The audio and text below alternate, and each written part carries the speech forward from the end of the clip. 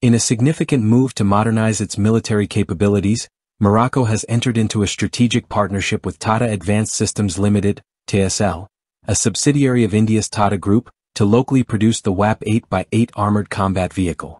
This collaboration is a key part of Morocco's broader defense strategy, aimed at enhancing the country's strategic autonomy and establishing it as a rising player in the defense industry within the region.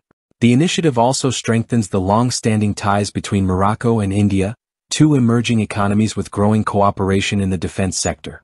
The Moroccan Ministry of National Defense announced that the project, which is set to be completed within 36 months, will initially feature a local integration rate of 35%, which is expected to increase to 50% as production progresses. The agreement is projected to generate around 90 direct jobs and 250 indirect jobs, providing a significant boost to Morocco's industrial ecosystem.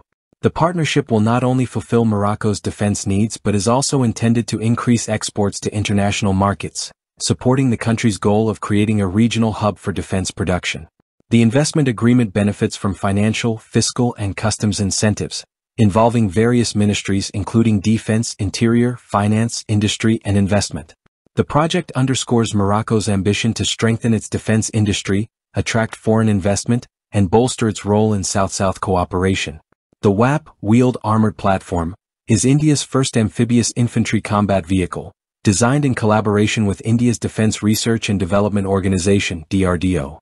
It is engineered for optimized survivability, enhanced all-terrain performance and superior firepower, making it well-suited for Morocco's varied operational environments, including amphibious and off-road missions. The vehicle has been presented in several configurations, including a version with a roof-mounted remote-controlled weapon system featuring a 30 by 113 mm autocannon and a 7.62 by 51 mm coaxial machine gun. Another variant integrates the BMP-2 turret, equipped with a 30 mm cannon and similar armament. Additional configurations can be equipped with anti-tank guided missile launchers, offering versatility for combat and support roles. Its integrated power pack, automatic transmission, and flotation capabilities further enhance its utility in amphibious missions. This partnership marks a pivotal moment in Morocco's defense strategy, as it diversifies its international collaborations and reinforces its military capacities. The acquisition of WhAP vehicles will not only upgrade the Moroccan Armed Forces operational capabilities but also foster technological transfer and skill development in the local defense industry. By establishing local production with TASL, Morocco is taking a proactive step towards self-sufficiency in military equipment production. Trials for the WhAP have already taken place in Morocco, and deliveries are expected to commence soon, with a delivery timeline of three years. This collaboration represents one of the largest orders of Indian-made armored vehicles, marking a significant milestone in India's defense exports as well. In addition to production, the collaboration with DRDO and TASL will ensure ongoing upgrades to the vehicles based on operational feedback, maintaining their effectiveness over the long term. The partnership between Morocco and Tata Advanced Systems to produce the WhAP 8x8 armored combat vehicle locally is a major step forward in Morocco's defense modernization efforts.